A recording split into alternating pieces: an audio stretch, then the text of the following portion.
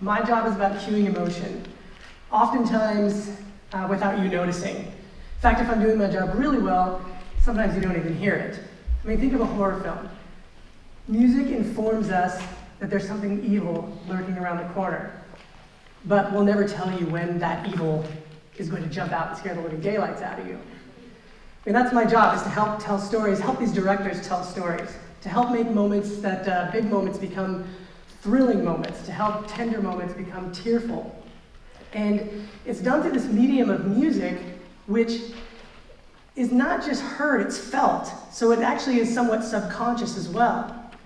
And it's, on one hand, incredibly challenging, but on the other hand, very gratifying because you kind of do get to be a little bit of a puppet master behind the scenes. Uh, think of uh, Superman uh, or any superhero movie. Well, when the superhero comes on the screen, it's all major chords and it's big and it's happy and it's positive. And then when the villain comes on the screen, we play minor chords and they're very crunching and dissonant. And it literally is, one of them is positive one of them isn't as positive. So we do this also with characters. Uh, when I was asked to score the film Juno, one of the clips you saw there, uh, the, the script, when I, I was introduced to the script by the director Jason Reitman, I was blown away by how organic and real these characters were. And I just wanted to honor that. And then when uh, he introduced me to Kimya Dawson and Moldy Peaches, and I was like, wow, this is a great sound. And I thought, how do I make this music feel organic and real, just as real as, as these characters? And so one idea I had was I was like, okay, instead of a drum set, which you know that has like a kick drum, a snare drum, and hi-hats, and I had, uh, I would just take a pint glass of water and pour it into a bucket, and it would go boom, and that was my kick drum. And then it was really hot in my studio that summer, so I took, um, and I had a fan in my studio, and it had a metal grate on it. So I took some wire brushes, and I played the grate of the fan, and that was my hi-hat. So there's all these things informing uh, the viewer, but they weren't really paying attention to them, but that, they just heard drums.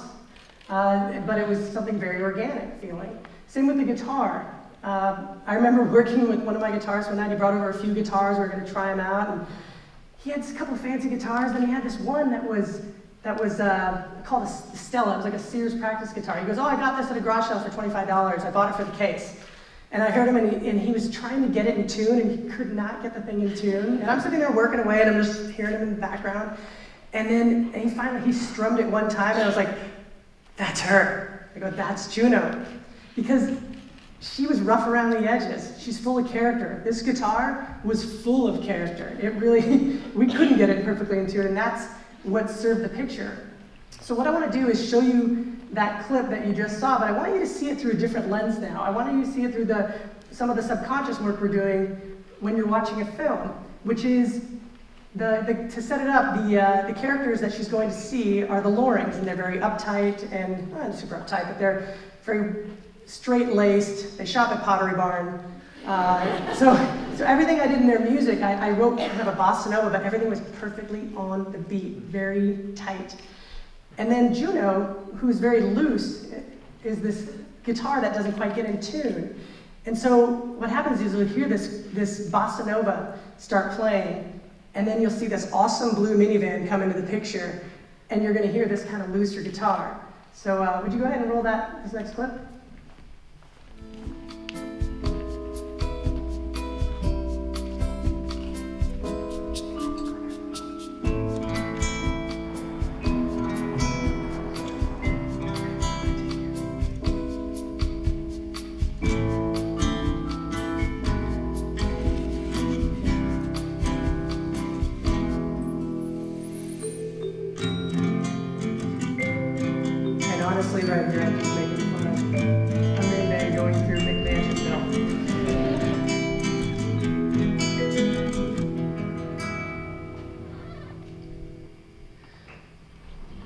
So when I was in university, I missed home. I imagine some of you might miss home on occasion.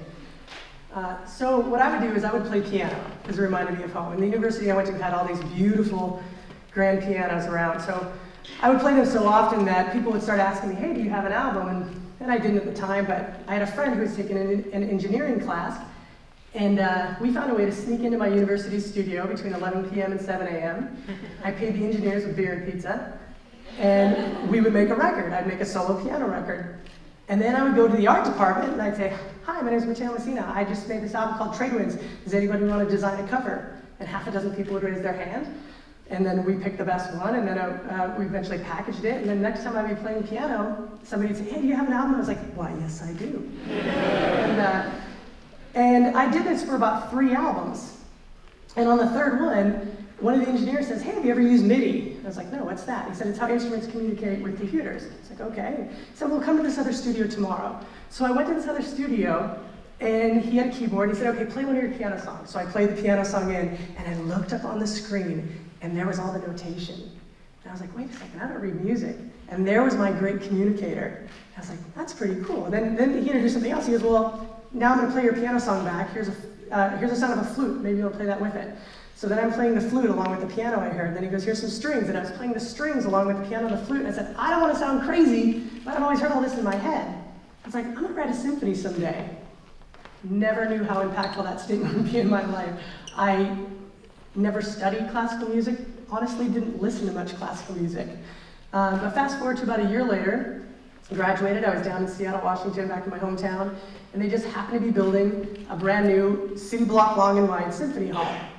And I was, I studied business, not music, and, uh, and so I was on one of my jobs, my first jobs in my career working for a network security company, and anytime I passed that, that structure while it's being constructed, I would go, oh, I'm gonna play there someday. Still have no idea why. And then lastly, I really don't know what compelled me to do this, but one day, because we're around 23, I walked into the uh, Seattle Symphony's offices across the street from the construction site. And I said, hi, my name is Mateo Messina. I'm putting together an orchestra. I'd love to debut my first symphony here.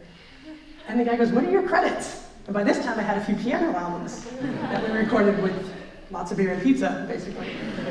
He said, okay, how, if you can do this, this, and this, insurance deposit, all these things, he goes, I'll put you in our recital hall. And and uh, I think that was his litmus test. I don't think he, you know, he didn't expect me to return, but of course, three days later, I showed up with everything I needed. And, and I remember this really well because he goes, okay, we discussed the co-production. At the very end of it, he said, uh, we look, what did he say? He goes, you're going to be, we open in the end of October, you're going to be our ninth and 10th concert, you're going to be two Saturday nights apart on December 5th and 11th. We look forward to seeing you in seven months. And I remember walking out on the Second Avenue going, oh, I got to figure out how to write a symphony. so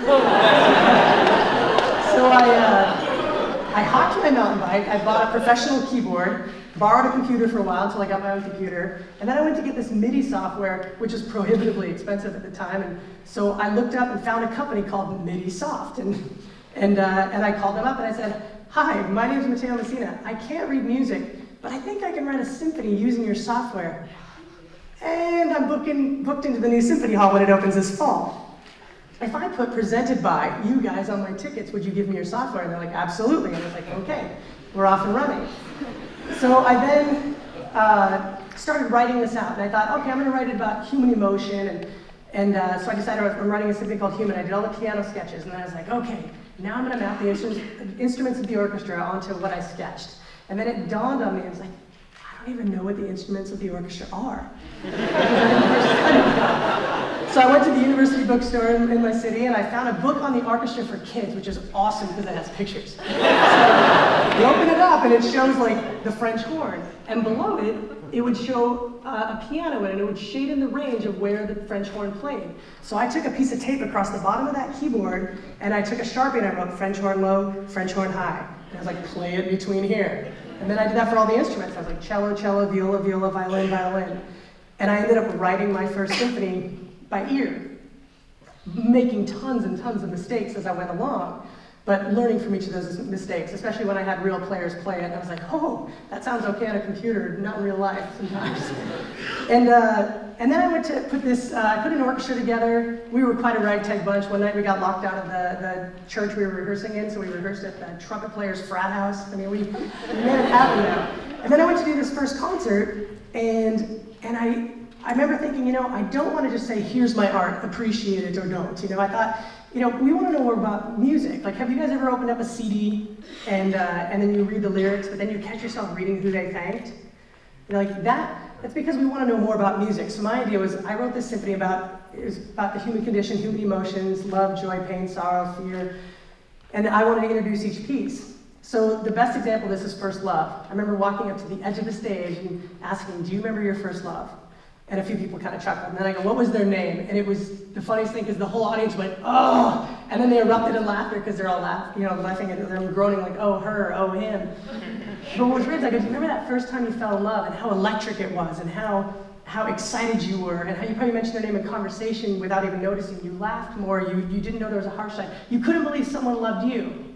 I'd say that's what this next piece is about. And then I would sit down at the piano, start my orchestra, and we'd play this piece for about seven minutes that I wrote that was very personal with my first love, but it didn't matter because everyone in that audience was thinking, whether they're with their boyfriend or girlfriend, their husband or wife, or on their own, thinking of their first love for those seven minutes. We did this for nine emotions. I think I exhausted my audience by the end of the concert. They all went on their personal life journey. But at the end, uh, that was on a Saturday night. By Monday, we sold out for my next Saturday night's concert, and that was the start of my career as a symphony composer. So, what happened a few days after that first concert really changed my life. It was an incredible blessing. That was, I was talking to a, a colleague of mine, and I, and I didn't know this about him, but he said, You know, I, I don't know if you know this, but my daughter recently passed of a brain tumor, and she was at Seattle Children's Hospital. They made the last year of her life quite incredible, because it really is an incredible place. And he goes, they have a piano there. And he knew I played piano all over, so of course, instantly I, I called him up and said, hey, uh, can I come down and play piano? And they said yes, and so I went down there, and what happened was, even though it's, it starts out so simple, but I, I, I'm still there 13 years later. And we write songs about bees and dogs and farts, and we forget about cancer for an hour or 10 minutes or however long it is that we're together. And then I started meeting these families. And these families, uh, I, I, learned that, you know, it, it, it's incredibly like financially impactful to a family to, to go through a disease like this. And so I thought, you know what, I'm gonna take what I did, do in these concerts and I'm gonna make them raise money for these families. And then I thought, well, as I do this, I want to be a pioneer in what I'm doing. So I make my concerts, they're, they're not typical symphonies. I take the, the notion of symphony and turn it on its ear every chance I get. So like one day I'll march, like one concert I marched the entire University of Washington drumline down one aisle and a big 50 person Brazilian drumline down the other and had them battle it out on stage. And one time I brought a, a, barista from Starbucks on stage and I mic'd all the different parts of the stand and the grinder, the blender and, and everything and we made a cup of coffee on stage with the orchestra matching all the, all the movements and all the sounds, and then we served a cup of coffee to the audience. Um, and so I want to show you a clip of what started as a fundraiser, maybe $2,000 that first one, or 1000 somewhere in there, and now these have turned into something where we raised, last year we raised over 200,000, and this year I want to raise a quarter million. So I'm just going to show you a clip where actually I invite also special guests. One year I invited uh, a DJ to come, Cut Chemist, and this is a, a band, in Chains, performing a, a piece that I really love. So I'm gonna play this one for you. By the way, this is the second time I've ever conducted in my life.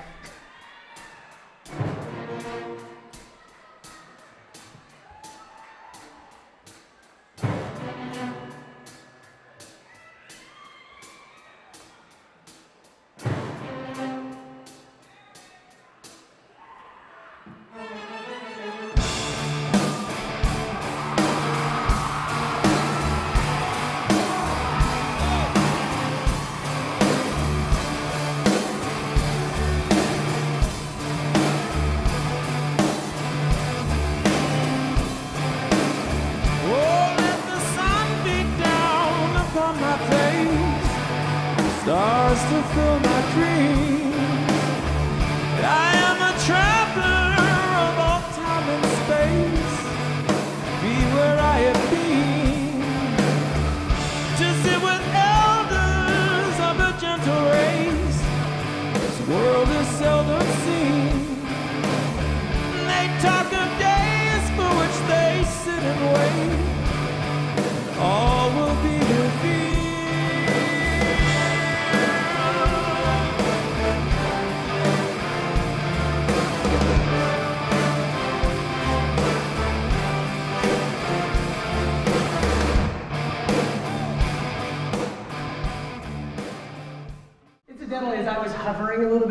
podium. I looked up and the girl choir somewhere like six minutes into that epic song just went. so what happened from there was somebody from the NFL was in the audience and they said, will you come do this for our uh, season opener? So the next thing I know, I'd only conducted this, this is my second time, I ended up finding myself in front of 72,000 people doing the same thing. And having a lot of fun at it, by the way. I get asked to do these types of performances and, and set up these shows uh, uh, all over, and it's, it's thrilling. So if I can leave you with one thing, I want you to think of back to when I said I had an idea, because that's what it was. When I was 22, I was like, hey, I have an idea. I want to write a symphony someday. But no one gave me any permission. No one said, I think you're, you'd probably be a great composer. I just tried it, and I was relentless in my pursuit. And, and that's what I want you to think about, is what do you want to try? What do you have to lose?